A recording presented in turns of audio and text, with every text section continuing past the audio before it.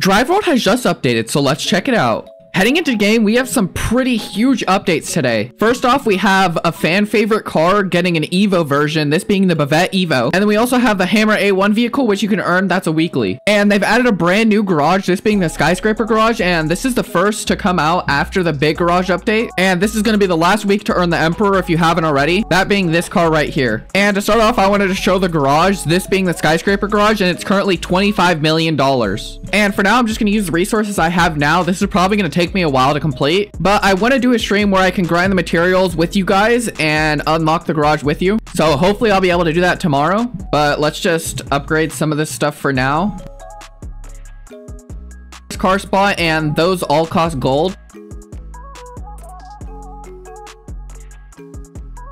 And there's also some stuff in here like this aquarium right here that costs money instead of these resources or gold, which is good because then it forces you to get all these different materials instead of just one type. There's another fish tank. And another reminder, this is something you'll do over months. So if you don't have enough gold or enough materials, just know that it's not supposed to complete it right away. And I believe that's the first level done. These car spots up here are actually 50 gold. And then I'm guessing the next level is even more expensive. Now, I guess I go down into here. This is where it gets super expensive. 300 wood for this one upgrade. 37 for some of these and I've run out of wood and I still have a lot of steel but I'm guessing it's gonna force me to upgrade that room before I can do the third level if there is a third level? Maybe there isn't a third level. Maybe it's just stuff in here. Uh there isn't more steel stuff that I can get in here so I'm just gonna have to work on wood. And here you can see outside uh I don't think this is the same spot. If we go into free cam it's just kind of like a less detailed version of the map. I'm not exactly sure which building it's supposed to be. Maybe it's supposed to be this one. It looks like this one, but I don't know. It doesn't really make sense. If we go out here, you can see it. It's definitely not that building. Uh, so hopefully they're able to kind of like add this building into somewhere because that would definitely be better than how it is like this I feel but this overall looks super cool and here we have the Bavette Evo and here are the customizations on it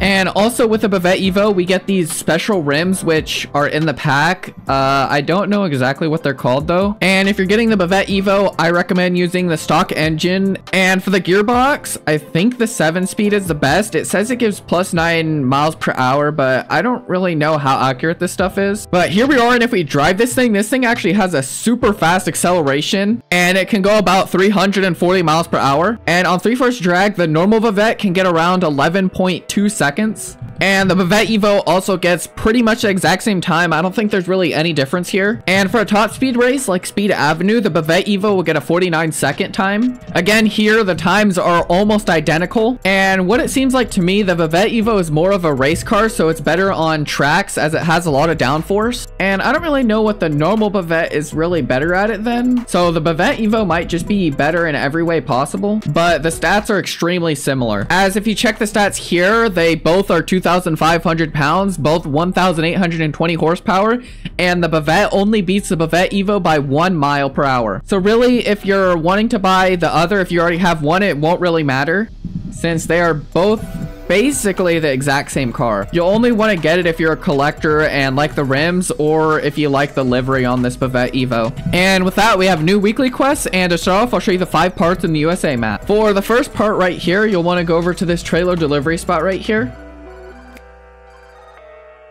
And right on this path, you'll see the part. For the second part on this bridge, you'll want to go over to the race tunnel sprint right here.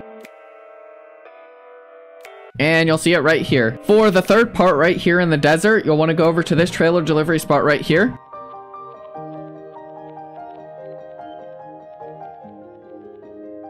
And right here in between the rocks, you'll see the part. For the next part inside of the gas station, you'll want to go over to the trailer spot here.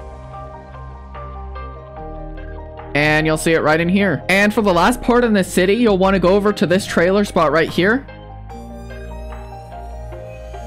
And you'll see it down here.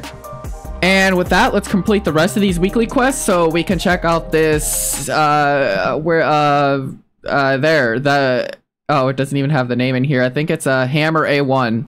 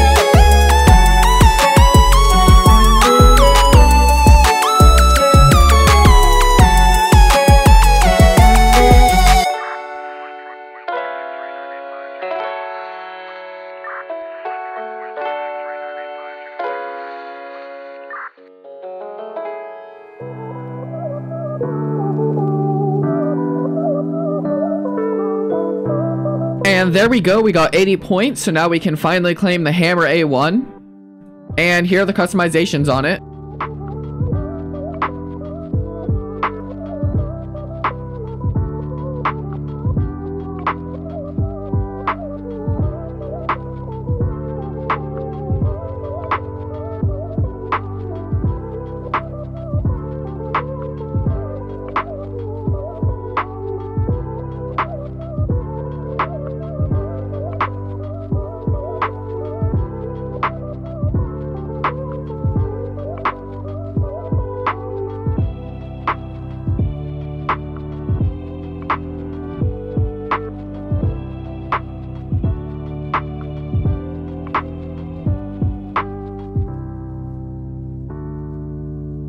One other thing, if you go into promo codes and put in the code 375k likes, you'll get a brand new wrap. And here's what it looks like. So if you like that, you can earn it now and it's free, so you might as well. And with that being said, I think that's going to be it in this video. Let me know down in the comments what you think about this update, and hopefully I'll be able to stream tomorrow.